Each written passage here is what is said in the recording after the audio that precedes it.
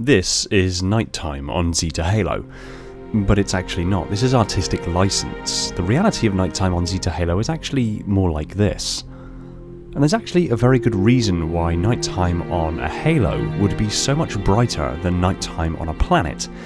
You see, adjusting the nighttime to be darker isn't technically accurate to the reality, it's more of an artistic license to the expectation, which is why I did it. Nighttime on a planet is caused by the observer moving with the rotation of the planet through the shadow cast by the planet itself. Shadows aren't perfectly straight, they taper off. Nighttime on a halo wouldn't be very dark at all. Light reflecting off of the other side of the ring, which would still be in daylight, would be brighter than any full moon we've ever seen. The light scattering from the edges of the ring would cause light pollution in the upper atmosphere, causing further lighting, and the shadow cast by the ring itself just wouldn't be that deep. So what we see in game is actually more accurate than our expectations.